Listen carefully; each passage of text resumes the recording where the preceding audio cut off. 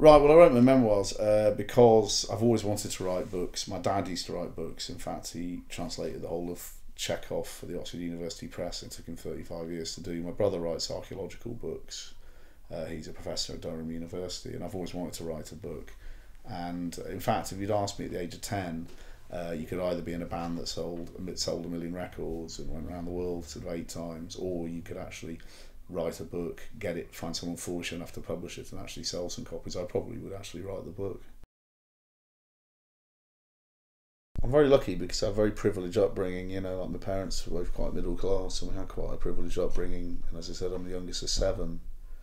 And the thing is that my dad was like an Oxford academic, so he was very clever, but he was also quite funny. And my mum always encouraged all of us to be good at different things. So, like my eldest brother Peter was good at maths, next brother Richard became an archaeologist. My next brother Martin studied classics. My brother Andrew became an engineer. Vicky sort of taught people. Helen's a social worker, um, and I play music. So, I, you know, with that kind of background, which you're very lucky to have, um, although you know better than anyone else, it could have been anything really. Could have been an actor, or could have been a politician, or I don't know. Could have been a. I could could literally have been anything really.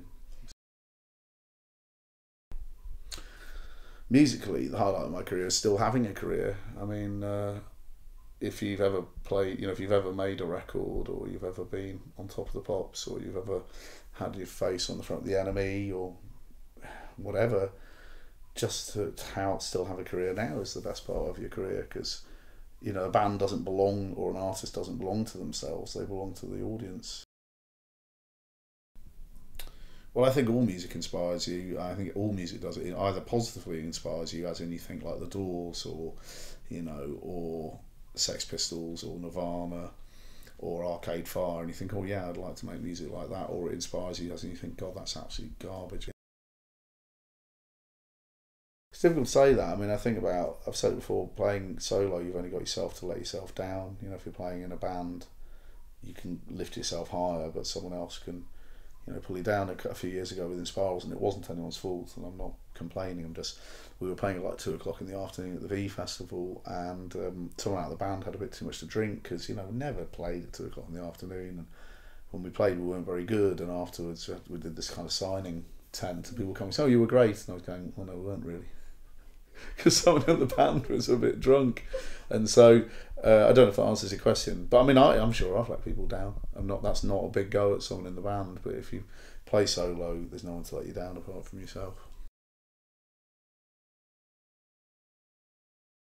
I think most good bands create their own fashion and then other people follow it. It's the kind of dull bands who just follow what everyone else is doing. I mean, you'd have to ask Craig because he was a drummer and he was into, you know, we did She Comes in the Fall and the drums on that was influenced by Cloudbusting and then, you know, we did Drag Me Down. Uh, both Martin and Craig, you know, they, you know, they listen to Stetsasonic and JB All Stars, you know, live across the tracks, and so that kind of offbeat build comes from that. So some of that's to do with Craig. Also, when I joined the band in 1989, you know, you had Craig, who I think was like 15, and you had Clint, who was like 29. So there was an immense age difference in the band and an enormous musical knowledge. I think sort of modern, modern critiques of society and culture would say that we all create cultures, I suppose, but people aren't necessarily that conscious of it. I mean, I think the, the, the, the Manchester movement, I mean, I didn't create it, I was part of it. I mean, I think Clint was probably doing a lot of things. I mean, I was being in bands and I moved here sort of 28 years ago, whenever it was. But I think that the you know the thing about that whole culture was that there was a lot of good things about it, but there were some bad things about it as well. You know because I gave out flyers outside the Heaton Park gigs and. Uh, such a wonderful vibe and they were so successful. But there were some people there who just need to move on a little bit. They've kind of invested their lives in, Inspiral Carpets or Happy Mondays or Stone Roses or Oasis, and it's like actually at some point you need to develop. You need to don't look back. You need to go on. Mm. Don't go on liking the band, but you need to. You know, you're not 13 when you're 37. You're not 14 when you're 45. And you know, I'm writing a book, which means I'm doing something different from what I did 20, 24 years ago. And I think generally, some people need to move on a little bit. Uh, I got into box sets. I mean, I've been looking through the Prisoner box set uh, and work. I've watched all the Sopranos because my father passed away two years ago, and I kind of inherited all the Sopranos DVDs. And people say, it's the best TV show in the world. I don't know if it is or it isn't. My, my favourite TV shows of all time are stuff like the original Avengers, Sopranos, you know, and I'm watching I Claudius at the moment, which actually I think they kind of borrowed little bits for for the Sopranos because it's kind of well, it's just families and friends doing one another in for political advantage. It's a bit like running the Olympics or something. It never goes away, does it? You know. Uh, Reading Festival in 1990, GMEX, 21st of July 1990. Uh, playing Glastonbury in 2003 when we went on After the Darkness to start raining. There's a lot of good gigs, really. I mean, I'd probably miss the innocence of not being aware of how things work. I mean, like if you look at, um, you know, I mean, like get more and more drawn into politics. I talk about it a lot on Facebook and I talk about it on Twitter.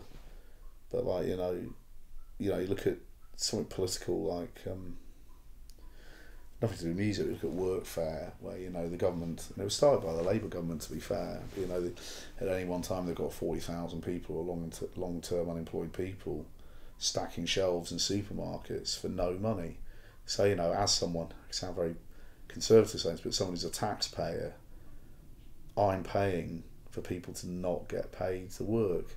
And the supermarkets at the same time will be also doing enormous tax write offs for employing people who aren't getting paid.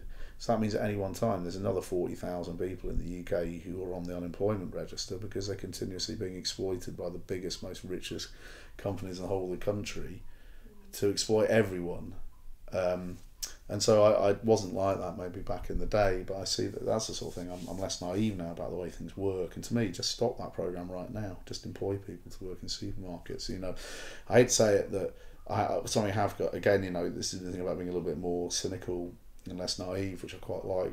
When I was younger, I was more naive. But look at charity. Charity really doesn't work. It really doesn't work because you've got all these people putting their time and their money and their emotions into doing something, and it's always with a great spirit. But at the end of the day, Tesco's turns over six billion pounds. So all that charity does means that enormous companies make more money.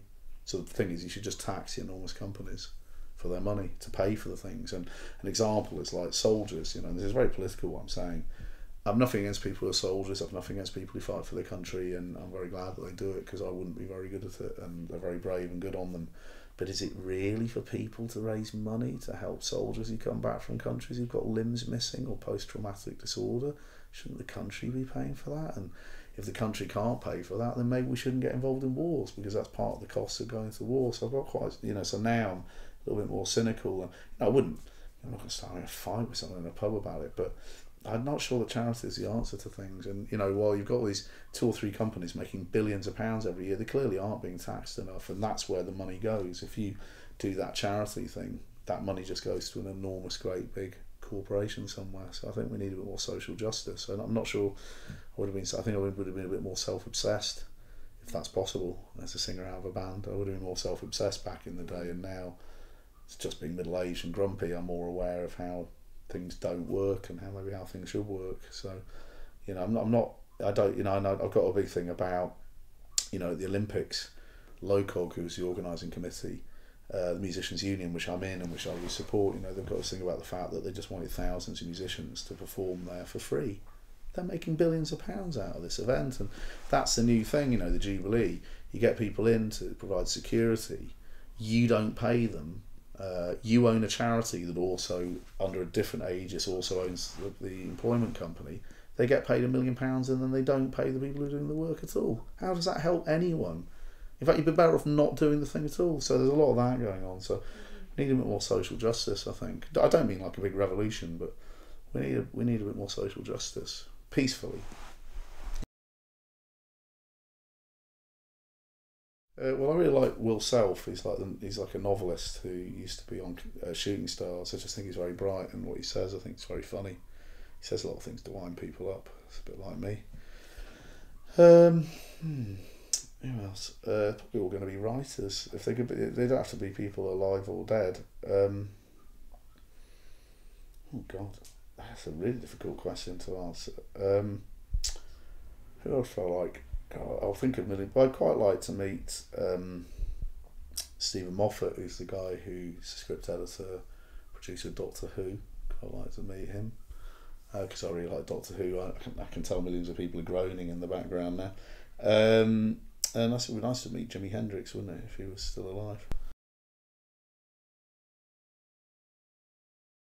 Well, I, my first stint in Old Trafford was from 1988 until 1999. Then I lived in Burnage for six years, and then I came back in 2006, and I've been living here ever since. We call it the OT. We don't call it Old Trafford. You know, when you're down with the Ute like I am, you've got to call it o, the OT. Only sounds very snobby, but I just think Trafford's nice because they're nice old Edwardian or Victorian houses. It's a nice place. It's very diverse. There's a lot of different people. Like on the street all different creeds and different people from all around the world. That's a nice thing, and people get on really well.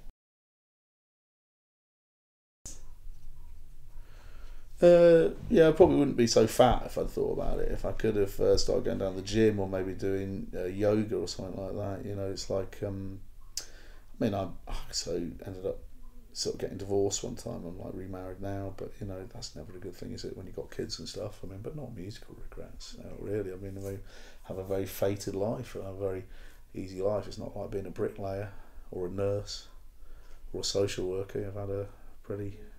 My adult life has been a work avoidance scheme, which seems to be. You have to work quite hard to avoid working. It's, it's a kind of a bit of a paradox. But no, I've had a very fated life. It's life's too short. Just don't look back. Just look forward. Uh, but I, I don't have a favourite track really. I don't. I mean, I like "Realise" by Flaming Lips. I think that's a good song because it it communicates a really essential, universal, uh, emotional truth. You know that we're all going to die, so you better grab that existential moment, and it does it in a way which isn't cheesy. It doesn't do it in a way that you've ever really seen it done before. So that's a that's a good piece of art. You know, and someone said to me like, "Is it useful? Is it useful to musicians?" And I said, "Well, you know, I suppose that if I don't know, the wheel fell off your amp, you could see it under your amp, and then your amp would be level. But I don't think that. I don't have a favourite song because I think with art, it's it's it's not a hierarchical thing. It's not about being useful. It's about being art. You know, there's three questions here in the flyleaf. Why shouldn't you sip open drinks backstage at a concert? That's the question. The answer is John Craven. Uh, the second one is what happens when you give a, a sucker an even break. The answer is Oasis. And the third one is how old was Tom when he tried to burn his house down? So the answer to that is 10.